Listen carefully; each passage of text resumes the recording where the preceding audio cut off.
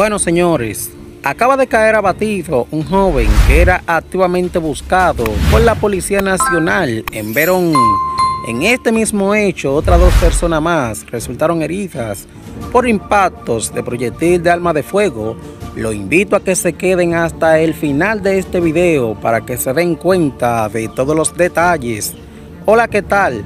Sean todos bienvenidos una vez más a una nueva noticia de su canal de noticias. Ya llegó la hora 2.0.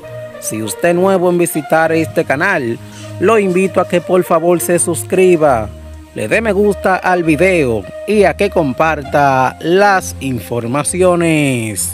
Bueno señores, y un individuo el cual era activamente buscado en el 9 de Punta Cana por la Dirección de Investigaciones Criminales de CRIM cayó abatido en medio de un enfrentamiento con una patrulla policial en el Distrito Nacional que le daba seguimiento.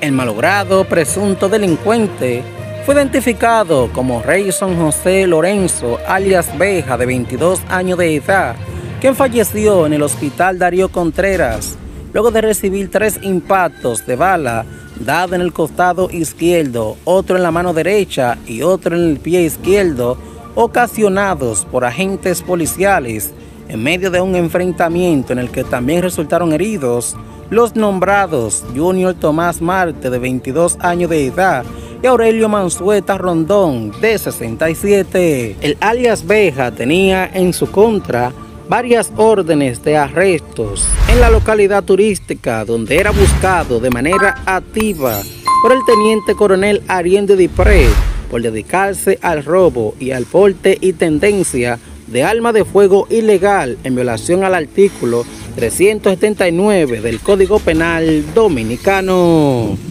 La DICRIN en Verón Punta Cana mantenía una persecución tenaz y activa contra el ahora obsiso y el alias Capitán, realizando incluso un allanamiento para lograr su captura siendo obligado a huir a la capital, donde resultó abatido. El alias Beja había hecho algunas publicaciones en las redes sociales donde exhibía diferentes armas de fuego ilegales y una cantidad indeterminada de dinero en efectivo producto de sus actividades delictivas.